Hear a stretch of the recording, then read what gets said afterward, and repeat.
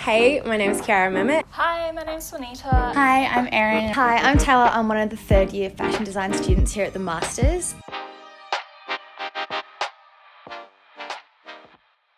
Uh, we just finished presenting to the panel for Melbourne Fashion Week, and it was honestly like the scariest thing I've ever done, ever. It was definitely a nervous experience. Just waiting in that room to be called in, and of course, I was the last one. But I did it, and hopefully, it's worth it.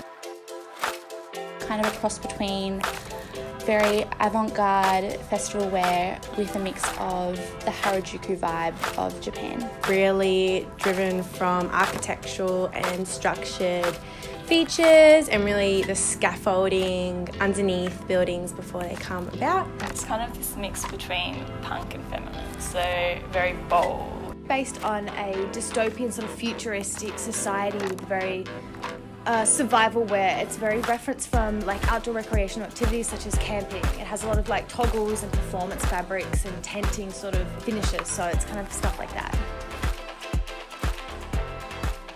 So I did a two-year gap year after school because I had no idea what I wanted to do, and I think that was probably the best thing for me because it gave me time to mature and to really know exactly what I kind of wanted to do. So I kind of grew up sewing or hand stitching, just whatever fabric scraps were around, just sticking them together. Just since I was younger, I've always been sketching, and it was something I really thought I had a passion in. Ever since a young age, I was always drawing and painting things and going outside and painting trees and getting in trouble for it and just stuff like that. So I, have always been interested in art and decorating things and just pretty things.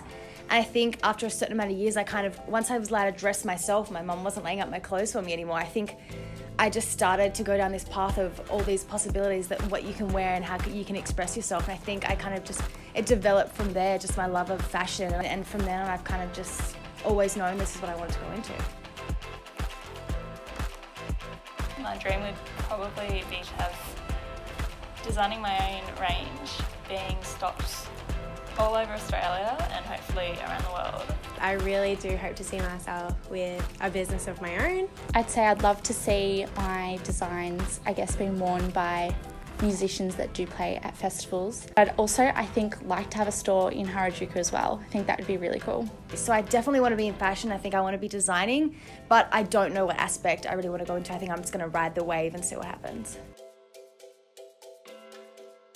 Just seeing your finalised product from your sketch at the start to seeing it on a model and on a mannequin. So that is really what's pushed me through this last year, as much as it's hectic and the deadlines and the crazy hours, but the end product is what really makes everything all worth it. It's so unique to the individual.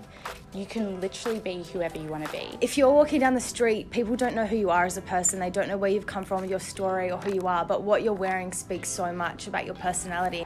The way you dress can just tell a story, I guess.